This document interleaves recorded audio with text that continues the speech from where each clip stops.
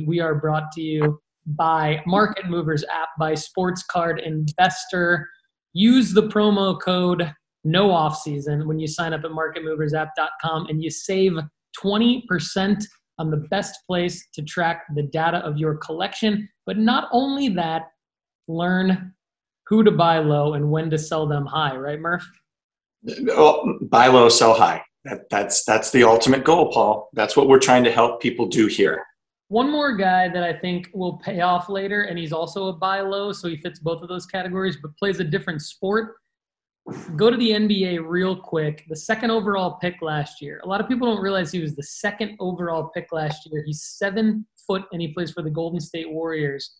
He's very low right now. His rookie autographs are extremely affordable. James Wiseman. I think James Wiseman is a great buy low. I think he can pay off later, especially if the Golden State, if he stays healthy and Golden State makes a playoff run. I'm looking to buy James Wiseman now and sell him in May. What do you think? Golden State's, you know, been kind of a train wreck the last couple of years. Um, they still have the core three. It's a matter of being able to fit him in and, and, and make him a part of a team that has a has a, a healthy Curry, a healthy Thompson, and a healthy Green.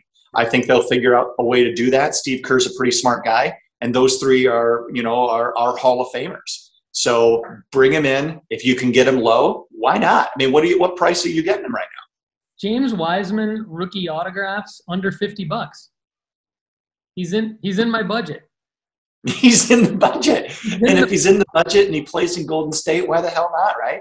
I mean, some of them are under 25 bucks, but well, then go get those. You're, you're looking, you're looking, you're looking at Anthony Edwards and LaMelo Ball, the number one and the number three picks going for, you know, you can't get their rookie autographs for anything less than 500, a thousand, thousand dollars. So you get the second overall pick in the draft on a better team with arguably a better chance of winning. I think definitely than the Timberwolves. I think the Hornets are good, but I think that Wiseman, you know, the hobby doesn't love big men as much as they love guards, but I think James Wiseman has a lot of room to dazzle and get some hype around him.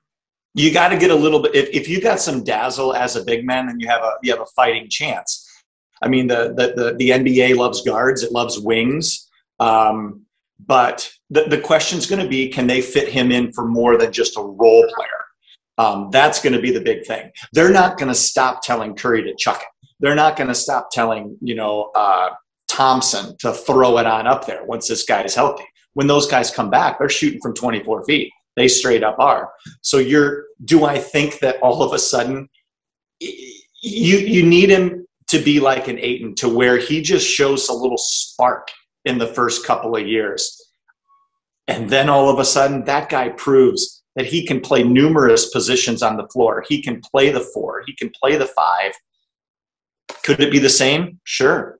You, you, you could be, be buying a, a, a, a, pretty good asset there. And once that thing tips up on over a $100, get rid of it. Yeah. get I, rid of it. I totally agree. That's what I'm looking at. I'm looking at don't don't be greedy. As soon as he, as soon as it starts to spike, get rid of it.